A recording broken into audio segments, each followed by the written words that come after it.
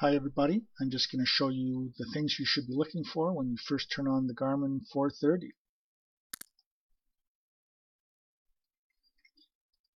As the unit starts up it goes through a self-test mode and you should uh, watch everything it shows here. Now this particular video is being shot with the, uh, the software from the, the Garmin website. You can see that the database on this uh, unit expired in 2007 so it's way out of date here uh, and that would be completely unacceptable if we were going to go flying IFR but this is just a demonstration so let's accept that it's uh, sometime in October or November of 2007 for the purpose of this video. So once we're happy with the dates here we're just going to, uh, to press the enter button and then it brings us up to the panel self-test page where we should pause here for a minute and make sure that everything is okay. So the first thing we want to do is uh, notice the, the indication up here. It says that the lateral CDI should be half deflection to the left, so we're looking for that on our HSI. It says that the lateral flag should be out of view, and it is. Uh, the vertical CDI should be half up, which it is, and the vertical flag should be out of view, which it is. It also says that the to from flag should be reading 2, uh, but in reality on this HSI it's not reading at all, so that's a little bit concerning.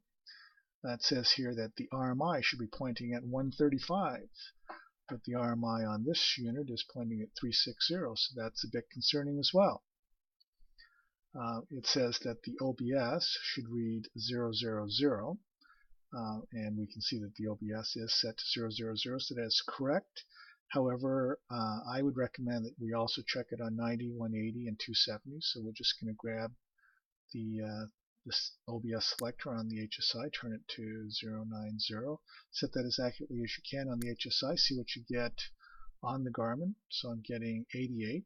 That's not bad, 2 degrees off. I can live with that. And I set 180 and I get right on 180. Can't do much better than that. Then I set 270 on my HSI and I get 268. Again, I can live with that. And then back to 360 or 0 and I'm getting 359 or maybe 0. Uh, so that's not too bad. If that's off more than about 3 degrees, I would start to complain to the maintenance department. Uh, this is very easy to calibrate.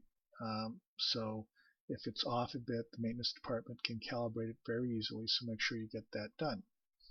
Uh, note that we have an indication that the annunciator is on and the current desired track is 150.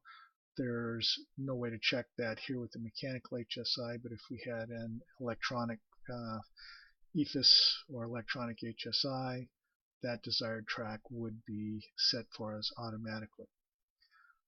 At this point, if you so desire, you could uh, set your fuel capacity, your fuel on board, and your fuel flow. I'm not going to demonstrate that here in this video. So at this point, the panel check is done. Just tap the enter button. Uh, we get a brief display of how many satellites the receiver um, currently has. And then we're brought to the nav2 page where we can begin. So I'll end this video at this point and make another video about uh, setting up the radios a bit later. Okay, see you next time.